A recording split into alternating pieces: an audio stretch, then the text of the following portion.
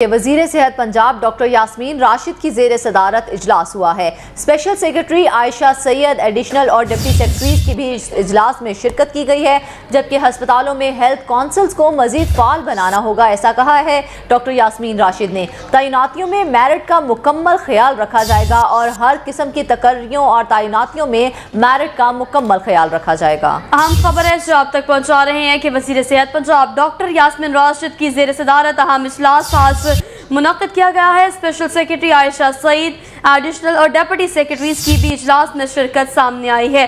اس اجلاس کے بارے میں آپ کو مزید اپڈیٹ کریں کہ اسپتالوں میں ہیلتھ کونسلز کو مزید فعال بنایا جائے گا۔ ایسا کہنا ہے ڈاکٹر یاسمین راشد کا۔ جبکہ مزید انہوں نے یہ بھی کہا کہ تعیناتیوں میں میرٹ کا مکمل طور پر خیال رکھا جائے گا۔ اہم خبر ہے جو آپ تک پہنچا رہے اہم اجلاس کے حوالے سے آپ کو اپڈیٹ کر رہے ہیں۔ اسی پر مزید بات کرتے ہیں نمائندہ لاہور رنگ محسن الوی سے۔ جی محسن الوی اپڈیٹ کیجیے گا اس اجلاس کے حوالے سے۔